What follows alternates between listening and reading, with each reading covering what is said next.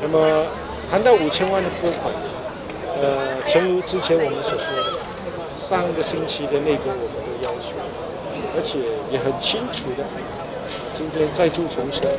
首相的宣布是没有人可以可以这个就就是由 overrule，就是没有人能够呢比首相更有这个权利来更换他所宣布的东西，我们必须沿着这个原则。OK，所以在这一方面呢，我想最重要的是呢，因为我们的教育部长还在国外，所以进一步的这个情况，控制教育的书。张胜文副部长有说已经到手了，下个分阶段发放。那我想问一下，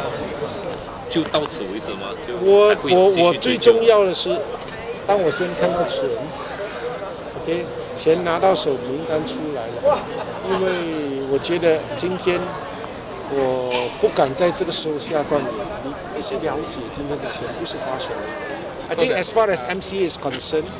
we want the announcement by the Prime Minister on the allocation to the Chinese school to be fulfilled. And no one